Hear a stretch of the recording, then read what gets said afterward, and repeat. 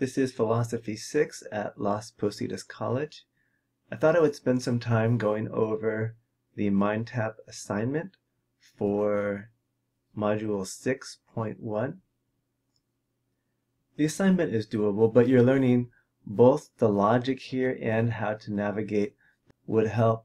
So I thought maybe an example of one of the more difficult problems might make you feel a bit more comfortable with solving these. So the first few questions here, actually the bulk of these questions, Hurley is teaching you at the same time that he is testing you on these problems. I am with these problems going to go into MindTap and try to set this so that what gets counted for your score on the question is your best take, your best score for that question. And because these problems are difficult, you're kind of learning as you go along, that might uh, be a better choice for a situation like this. So these first problems that you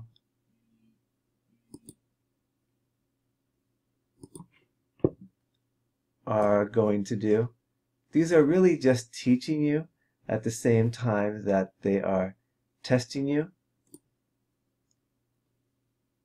And so I don't think you'll have too much difficulty with these, especially given that you have additional takes.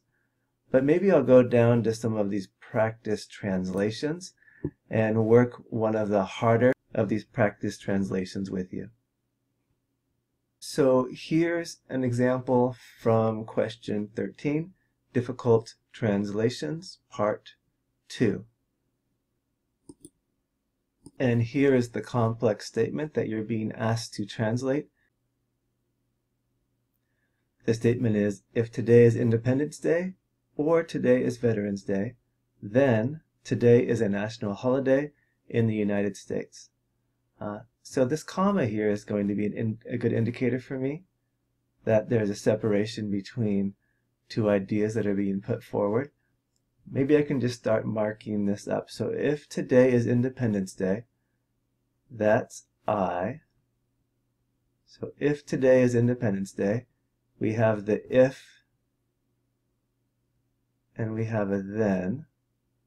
So if today is Independence Day, or, so I know that's going to be the wedge, today is Veterans Day, that's V. So this first part is I or V, but then there's an if then here.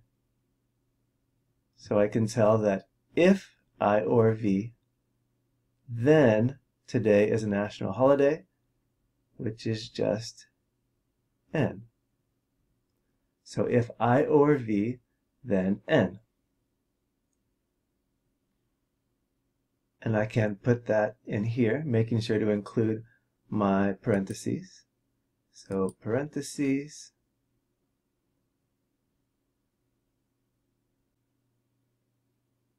I.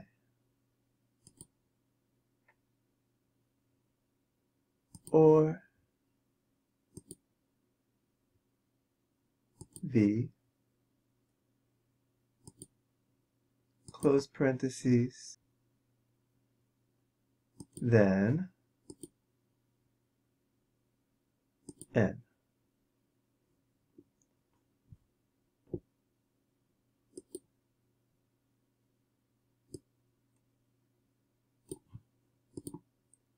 Once I think I've got it, I can grade it now. And we got one out of one points. Looks like we got it right. If we didn't like our grade or just for fun, we could try another version. And do it all again. Okay, let's try another. This is an example from question 15. If there is a swine flu epidemic, then infected people are quarantined and the public will panic. And if the latter occurs, then parents do not send their children to school and the employees do not go to work. So let's start at the beginning here. If there is a swine flu epidemic, that's S. So if S, then infected people are quarantined and the public will panic. So we have our if here, and then we have our then. Both of these things will happen, right? So infected people are quarantined.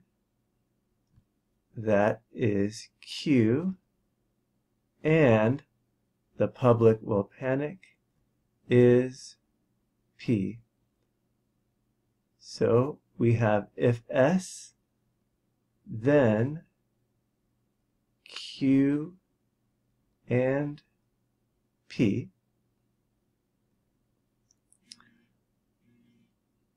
Then we have another and here. And if the latter occurs, which means the latter here is that the public will panic. So, and if P, the public will panic, then parents do not send children to school and employees do not go to work. So we have these two things that will be taken together with the and in between. Parents do not send children to school. Well, C is parents do send their children to school. So this is going to be not C. And employees do not go to work. E is employees go to work. So this is going to be not E. So we have and if the latter occurs, that was P. Then parents do not send children to school. That means not C.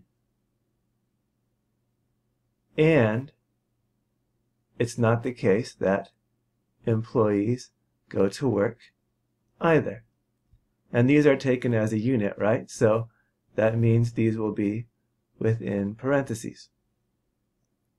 It's always a bummer when you have a C used in one of these because a C is so easily confused with a parenthesis. So I'm just going to put a line here to indicate that this is a C as a number rather than a parenthesis.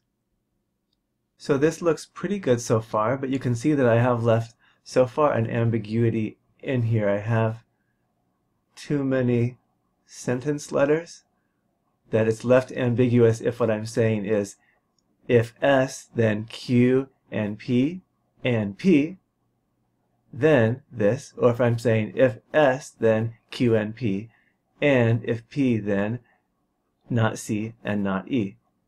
So clearly it's the latter, right? If there is a swine flu epidemic, then the infected people are quarantined and the public will panic. And, so that will be my main connective. If the latter occurs, that's if P, then not C and not E. So I am going to need some brackets to indicate that this is going to be taken as a whole and also that this is going to be taken as a whole. And now I'm left with nothing that's ambiguous. And if I check this in the MindTap, it should turn out to be correct.